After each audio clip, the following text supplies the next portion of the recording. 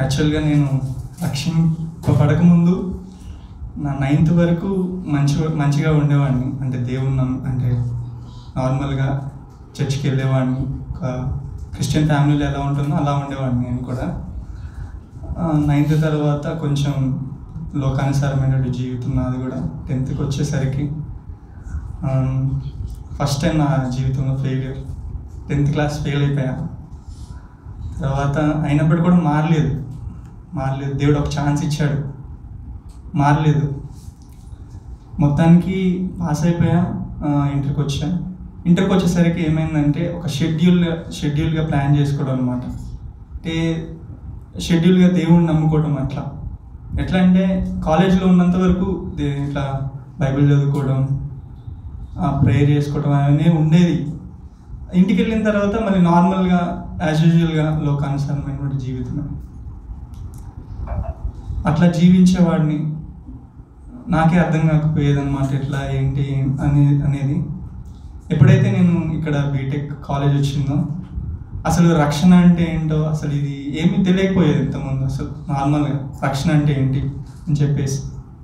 ఎప్పుడైతే ఇక్కడికి వచ్చానో నా ఫస్ట్ ఇయర్ బీటెక్ ఆదర్శ్ పరిచయం అయ్యాడు first same hostel same room అయితే నేను బైబిల్ చదువుకుంటున్నా నార్మల్గా మార్నింగ్ వేసి అయితే ఆదర్శ్ వచ్చి మాట్లాడాడు నాతో.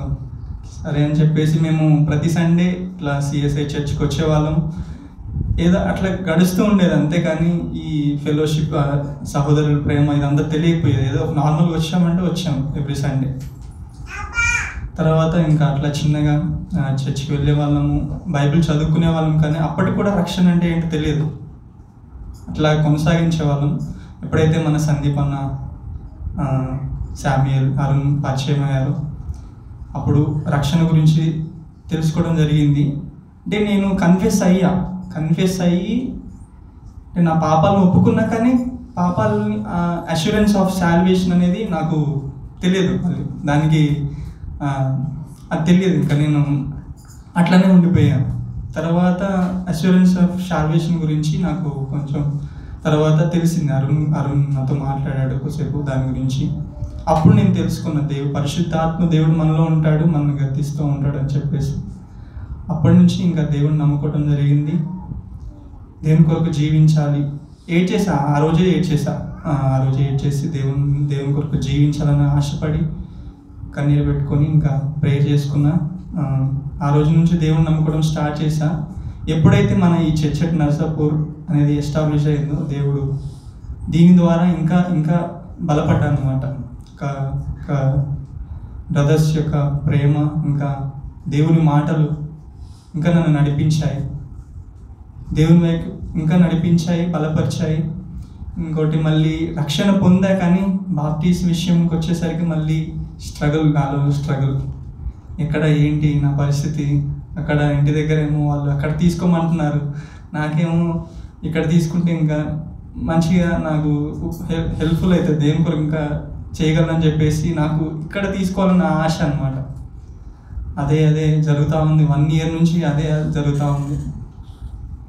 అన్న వాళ్ళు కూడా ఫాలో అప్ చేస్తున్నారు నన్ను. నాతో మాట్లాడుతుంది సన్నిపన్న బాప్టిజం గురించి. అయితే ఇంకా ఇంట్లో వాళ్ళతో కూడా మాట్లాడా చాలా వాళ్ళతో చాలా చెప్పా. ఇక్కడ తీసుకుంటా అని చెప్పేసి.